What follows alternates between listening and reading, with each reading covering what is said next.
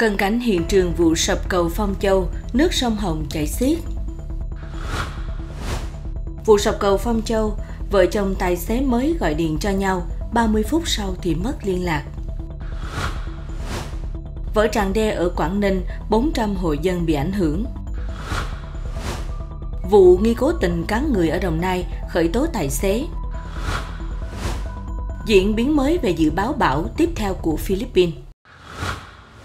Xin kính chào quý vị và các bạn. Quý vị và các bạn đang theo dõi bản tin tổng hợp buổi sáng của báo Người Lao động. Thông tin vừa rồi là những sự kiện đáng chú ý được chúng tôi cập nhật đến 5 giờ hàng ngày. Ngay sau đây sẽ là nội dung chi tiết. Chiều ngày mùng 9 tháng 9, lực lượng chức năng đã phong tỏa hai đầu cầu Phong Châu nối liền huyện Tam Nông và huyện Lâm Thao tỉnh Phú Thọ để phục vụ công tác cứu nạn cứu hộ vụ sập cầu trên địa bàn. Theo ghi nhận của phóng viên báo Người Lao động, khoảng 14 giờ chiều ngày 9 tháng 9, rất nhiều lực lượng chức năng có mặt tại hiện trường để khắc phục sự cố sập cầu Phong Châu. Rất đông người dân hiếu kỳ đến xem vụ sập cầu. Tại hiện trường, nhiều nhịp cầu khoảng 50 mét bị sập hoàn toàn, dạt vào bờ, cách cầu khoảng 50 mét. Nước sông Hồng dâng cao chảy xiết, công tác cứu nạn cứu hộ gặp nhiều khó khăn. Trực tiếp kiểm tra tại hiện trường sập cầu Phong Châu, Phó Thủ tướng Hồ Đức Phớt yêu cầu tỉnh Phú Thọ báo cáo sơ bộ thiệt hại từ vụ sập cầu. Phó Thủ tướng chỉ đạo các lực lượng chức năng chặn hai đầu cầu và dùng lưới để tìm kiếm người bị rơi xuống sông. Tuy nhiên, lãnh đạo tỉnh báo cáo giải pháp cứu hộ đang gặp khó khăn do dòng nước xiết không thể cho người phương tiện xuống ngay được. Theo báo cáo sơ bộ, tại thời điểm cầu Phong Châu bị sập, trên cầu có 5 xe ô tô đang lưu thông và bị rơi xuống sông gồm một xe tải đầu kéo, một xe tải và ba xe ô tô con, 4 xe máy, ba xe máy, một xe máy điện với tổng cộng 9 người.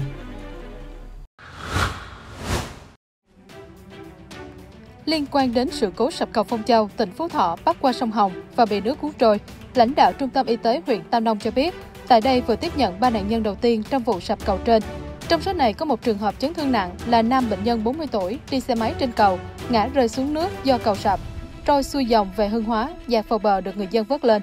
Bệnh nhân vào bệnh viện trong tình trạng hoảng loạn, đau đầu, vết thương rộng cẳng chân trái 14 đến 16 cm, dị vật cát bẩn, dập nát, xẹp phổi nhỏ ở thùy dưới phổi phải. Ngoài ra, hai bệnh nhân khác đến viện trong tình trạng say sức nhẹ cũng đang tiếp tục được theo dõi và động viên tinh thần tại Trung tâm Y tế huyện Tam Nông. Nhớ lại giây phút gặp nạn, ông BTS, một trong số các nạn nhân cho hay, khi đang di chuyển trên cầu Phong Châu, ông thấy rung lắc rất mạnh ở phía sau. Rất nhanh sau đó, cả xe và người của ông rơi xuống sông. Cảm giác chân tôi chạm đáy sông, nước chảy mạnh và tôi cố ngồi lên. Tôi không nghĩ mình sống sót nhưng vẫn cố dùng hết sức cố bơi vào bờ. Được một đoạn thì may mắn vớt được cây chuối và được người dân hỗ trợ đưa vào bờ, ông S nói. Ngay trong trưa ngày 9 tháng 9, các bác sĩ bệnh viện Việt Đức đã hội chẩn cấp cứu trực tuyến ba bệnh nhân gặp nạn trong vụ sập cầu Phong Châu, Phú Thọ. Theo báo cáo của huyện ủy Tiên Yên, tỉnh Quảng Ninh, do nước lũ dâng cao, tại xã Đông Hải đã xảy ra vỡ tràn đê Hà Thanh, xã Đông Hải, huyện Tiên Yên, Quảng Ninh vào khoảng 6 giờ 30 phút ngày 9 tháng 9, làm ngập khoảng 400 nhà dân tại các thôn Hà Tràng Đồng, Hà Tràng Tây và một phần các thôn Nà Bất, thôn Khe Cạn, mực nước ngập vào nhà dân sâu nhất là 1,5 mét. Nước lũ cũng làm diện tích hoa màu, lúa bị ngập khoảng 100 hectare Ngoài ra, đê tràn Tây bị vỡ khoảng 30 mét khiến một hộ dân bị ngập trôi hết tài sản mất khoảng 70 triệu đồng tiền mặt.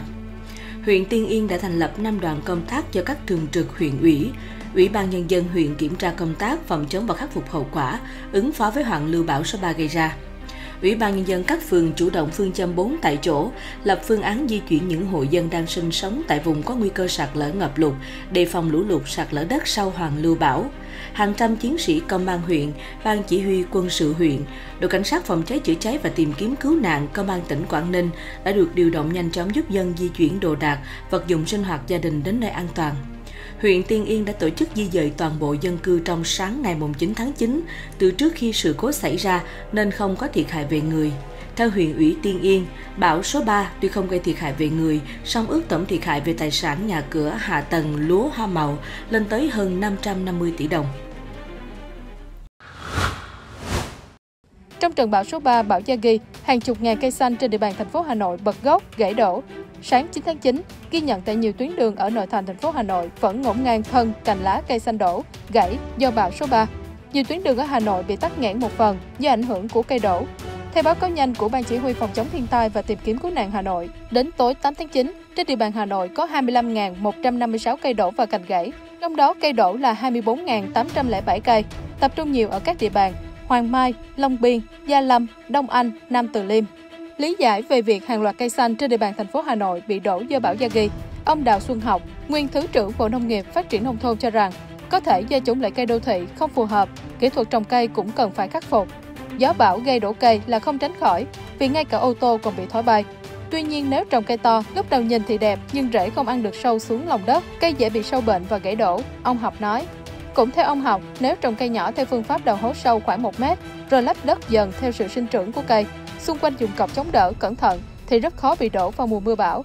Những năm gần đây, thành phố Hà Nội đã có nhiều giải pháp khắc phục trong việc trồng cây đô thị, nhưng mỗi mùa mưa bão vẫn lộ ra những bất cập cần phải khắc phục. Ngày 9 tháng 9, cơ quan cảnh sát điều tra công an thành phố Biên Hòa, tỉnh Đồng Nai đã ra quyết định khởi tố vụ án khởi tố bị can đối với Đỗ Minh Tân, 28 tuổi quê tỉnh Bến Tre về tội vi phạm quy định về tham gia giao thông đường bộ. Tài xế Tân là người có hành vi dừng xe sau khi va chạm giao thông rồi tiếp tục cho xe chạy khiến một người đàn ông tử vong trên quốc lộ 51, phường Phước Tân, thành phố Biên Hòa, Đồng Nai. Như đã đưa tin, gần 12 giờ trưa ngày 28 tháng 8, xe tải do tài xế Tân điều khiển trên quốc lộ 51 đi qua khu phố Hương Phước, phường Phước Tân, thành phố Biên Hòa. Xe tải rẽ vào một công ty thì va chạm với xe máy. Theo camera ghi lại, tài xế đã dừng xe ít giây khi tông vào nạn nhân, nhưng sau đó tiếp tục di chuyển cán qua.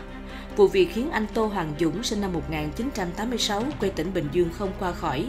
Ngay sau đó, công an thành phố Biên Hòa, tỉnh Đồng Nai đã tạm giữ tài xế Tân.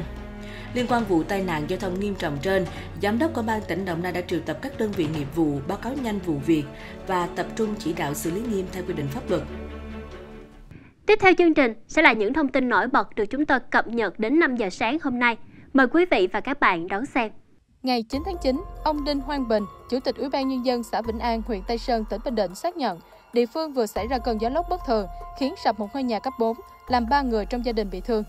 Theo ông Đinh Hoang Bình, vụ việc xảy ra vào khoảng 23 giờ đêm 6 tháng 9. Thời điểm này, ông Đinh Văn, ngụ làng Con Giọt 1, xã Vĩnh An, cùng hai người con đang ngủ trong nhà cấp 4, mái tôn rộng khoảng 30 m2 của mình, thì bất ngờ một cơn gió lốc ập đến. Hậu quả, ngôi nhà bị sập hoàn toàn, ba cha con đang ngủ trong nhà bị thương. Thiệt hại về tài sản ước tính khoảng 100 triệu đồng.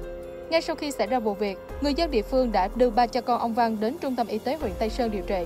Sau 2 ngày chăm sóc, ba người đã được xuất viện về nhà tiếp tục theo dõi.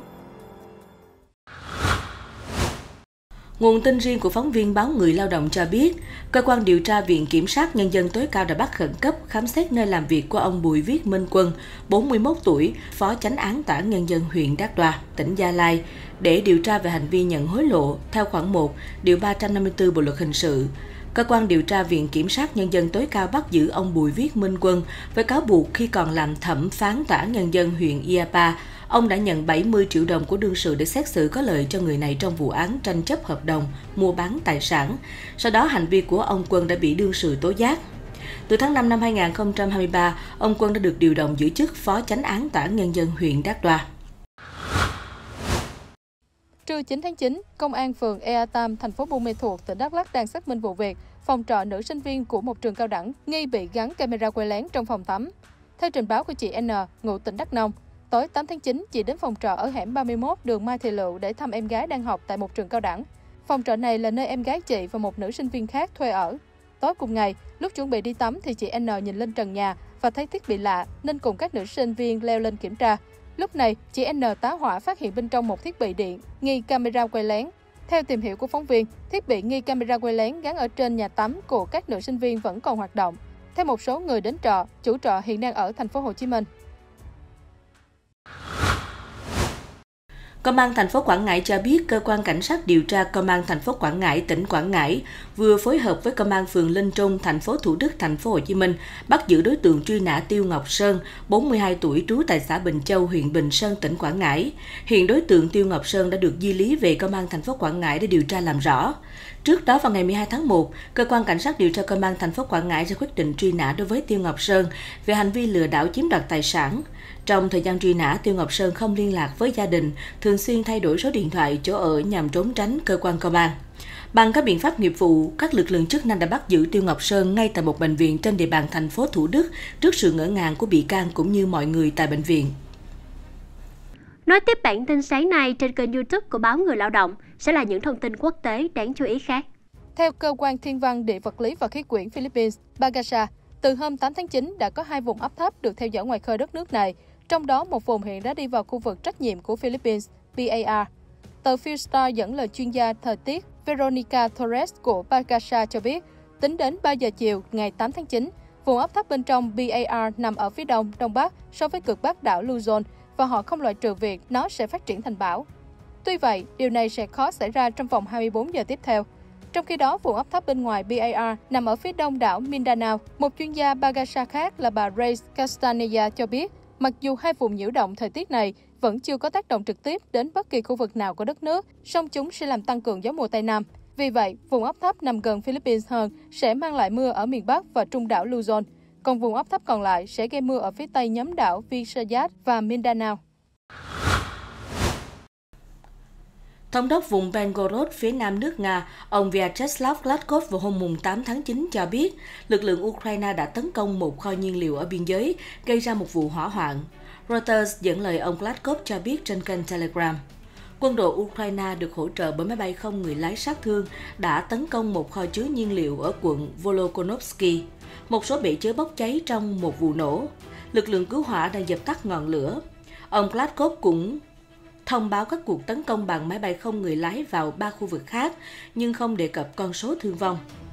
Trước đó, Moscow và Kiev cáo buộc nhau tiến hành các cuộc tấn công trong đêm ở biên giới.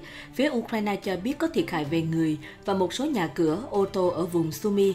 Trong khi đó, ông Gladkov cho biết có ba dân thường bị thương ở Belgorod, hai tòa nhà dân cư bị phá hủy tổng cộng hơn 15 tòa nhà bị hư hại.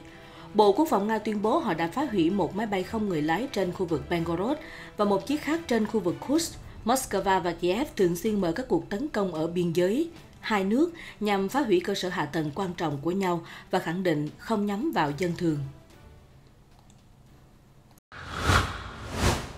Theo kết quả thăm dò của tờ New York Times và trường đại học Siena, Mỹ được công bố, cựu Tổng thống Mỹ Donald Trump và Phó Tổng thống Mỹ Kamala Harris đang suýt sát nhau trong đường đua vào Nhà Trắng. Hiện ông Trump dẫn trước bà Harris chỉ một điểm phần trăm. Cụ thể, tỷ lệ ủng hộ cho hai ứng cử viên Tổng thống đảng Cộng Hòa, đảng Dân Chủ lần lượt là 48% và 47%. Theo Reuters, chiến dịch tranh cử của ông Trump trải qua giai đoạn tương đối khó khăn trong những tuần sau khi Tổng thống Mỹ Joe Biden của đảng Dân Chủ bỏ cuộc vào tháng 7.